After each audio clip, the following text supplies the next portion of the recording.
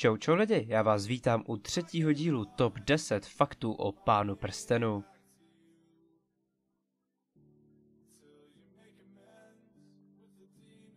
Když si Tom Bombadil nasadil Sauronův prsten moci, nezmizel, ale za to Frodo s nasazeným prstenem byl pro něj viditelný.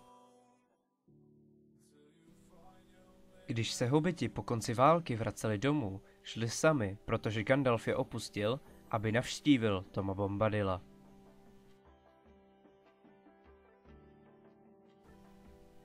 Třetí věk začíná bitvou se Sauronem, kterou můžeme vidět na začátku společenstva a končí odchodem Gandalfa, Froda a Galadriel do šedých přístavů.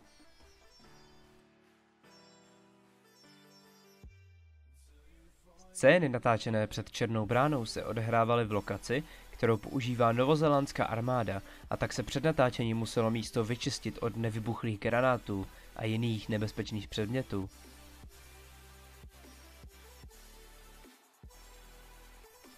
Skutečnost, že Gandalf spí s otevřenýma očima, pochází z jedné krátké zmínky v knize.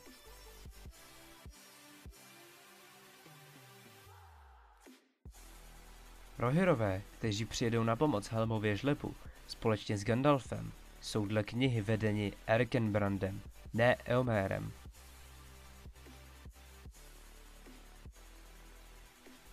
Výroba drátěných košil, která trvala dva roky, spolehlivě vymazala švadlenám otisky prstů.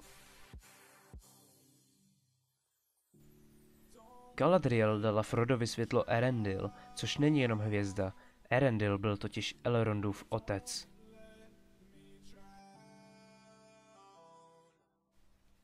V době dokončování návratu krále byl Haur Chor nucen skládat sedm minut hudby denně a tou lačku musel udržet.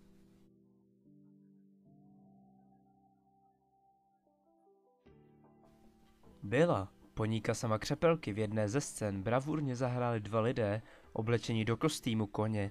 Nikdo nepoznal, že se o koně vlastně nejedná.